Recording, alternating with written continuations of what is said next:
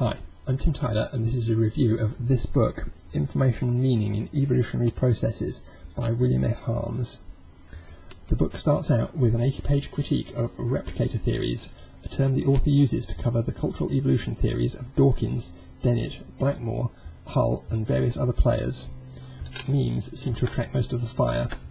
We hear about how Dawkins backtracked apologetically after introducing memes, playing down their significance how David Hull was only interested in memes to the extent that they helped him develop a scientific epistemology, and how Dennett got his memes second-hand and just wanted to use them to bolster his concept of the intentional stance.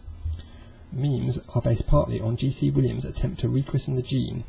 We hear that this rechristening never caught on, and the word gene today still has a totally different meaning in biology textbooks, leaving memes dependent on a dead definition. Further, the definition of gene that Williams used makes little sense, since it defined genes in terms of selection pressures, which might fluctuate wildly in real life, causing genes and memes to flit in and out of existence.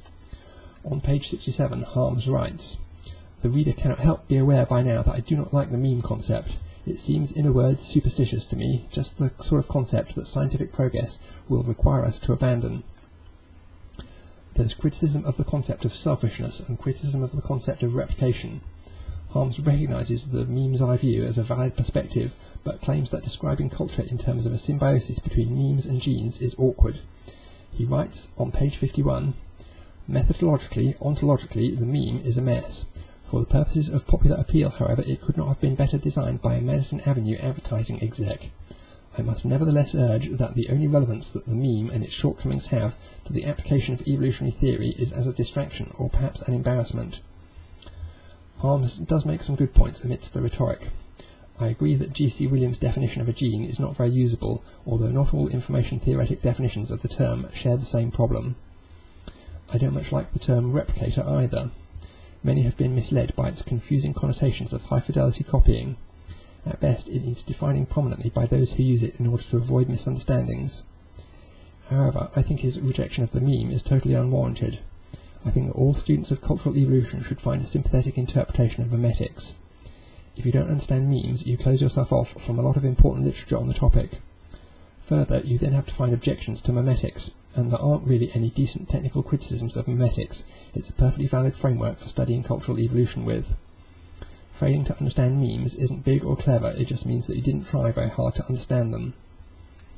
To respond to the specific criticism that describing culture in terms of a symbiosis between memes and genes is awkward, that's mostly nature's fault. The fact that creatures are symbiotic composites of multiple types of agent which exhibit partial genealogical independence is certainly a complication when constructing evolutionary models.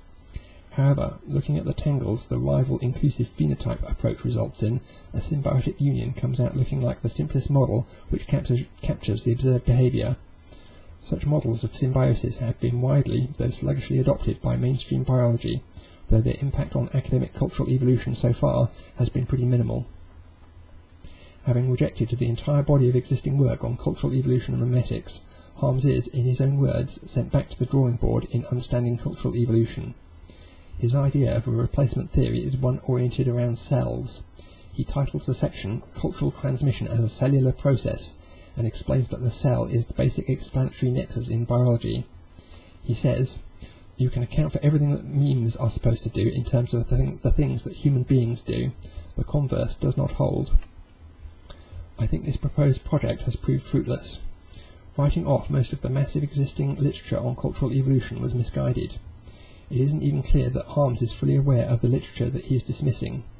Boyd, Richardson, Cavalli Sforza and Feldman get one mention, and that says that these folks seem to find memetics a timely label for an established and respected approach to the study of cultural evolution and transmission.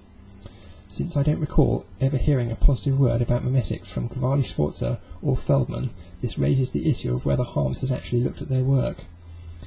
It certainly isn't clear from the book that he has.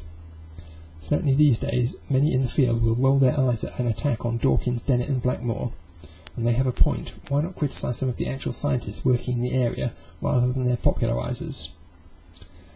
The proposed explanation of cultural evolution that Harms offers, namely, the cells did it, seems to me like no explanation at all. It is like explaining the function of the brain by saying that it computed something.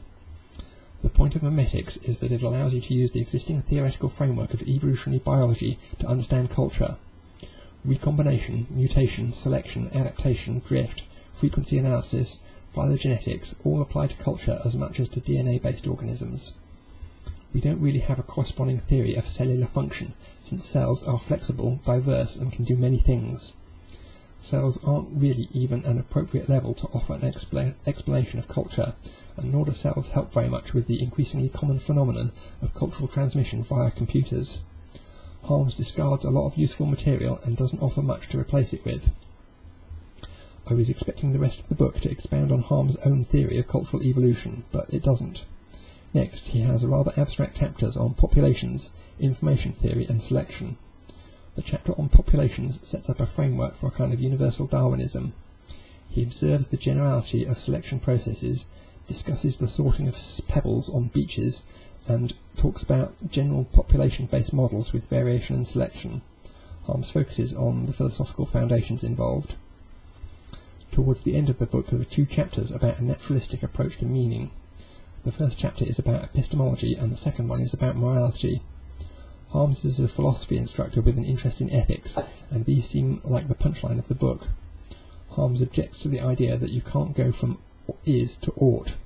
Instead, he thinks that evolutionary theory informs morality without endorsing any particular moral position.